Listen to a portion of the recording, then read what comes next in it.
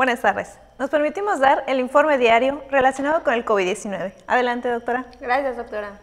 Buenas tardes. Se puso en marcha el programa estatal de reforzamiento a la protección de la salud que se sumará al combate al coronavirus, focalizando la prevención con la presencia de brigadas de Amigos de la Salud en los municipios, colonias y comisarías que presentan una tendencia al alza en el número de personas contagiadas.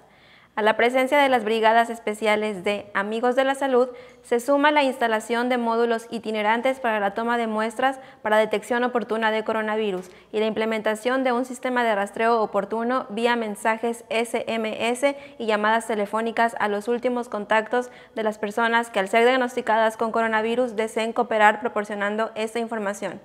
El semáforo epidemiológico está, estatal está en naranja el gobierno del estado ha puesto a disposición de los yucatecos diversos canales. La línea telefónica 800 Yucatán atiende en español y en maya. La página de internet coronavirus.yucatán.gov.mx también ofrece información en maya y en español. El chat de WhatsApp en el número 9992 008489 en español y 9991 40 22 en lengua maya ofrece un diagnóstico automatizado. El chat de la salud vía la red social de Facebook. La aplicación Meditalk para los sistemas Android y Apple.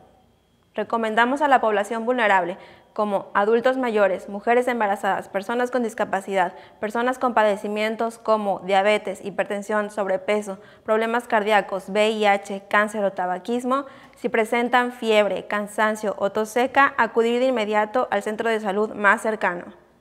A continuación, el parte médico de este miércoles 5 de agosto. 8.489 pacientes ya se recuperaron, no presentan síntomas ni pueden contagiar. Hoy se detectaron 179 nuevos contagios de coronavirus, 80 en Mérida, 35 en Valladolid, 10 en Tecash, 9 en Tizimín, 7 en Ticul, 5 en Temozón, 4 en Motul y Humán, 3 en Progreso y Teabo, 2 en Chumayel y Joctún, 2 foráneos, 1 en Butzos, Chemas, Checholá, Concal, Sinsantún, Citás, Canacín, Peto, Sutzal, Temash, Tinún, Zucacab y Guayma. En total ya son 10.922 casos positivos, 121 de los cuales son de otro país u otro estado.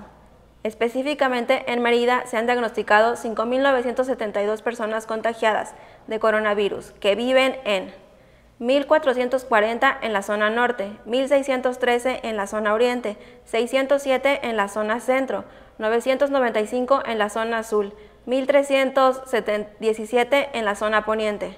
Lamentablemente, en este parte médico informamos de 35 fallecimientos. Son 21 hombres y 14 mujeres, de un rango de edad de 39 años a 91 años. Sus principales enfermedades fueron hipertensión arterial sistémica, diabetes mellitus, obesidad, insuficiencia renal crónica, EPOC y asma. Residían en Mérida 18, Valladolid 5, Motul 2, Temozón 2, Acanqué, Chichimilá, Chocholá, Cuncunul, Joctún, Tizimín, Humán y Yaxcabá con 1. En total son 1.307 las personas fallecidas a causa del coronavirus. 494 están estables, aisladas, monitoreadas constantemente por personal médico de la Secretaría de Salud. Presentan síntomas leves. 632 de los casos confirmados están hospitalizados y en, aislamiento total. Hay otros pacientes hospitalizados a la espera de diagnóstico. El rango de edad de los casos confirmados es de un mes a 98 años. Ese es el reporte del día de hoy, doctora. Gracias. Estaremos actualizando esta información todos los días por este mismo medio. Muchas gracias.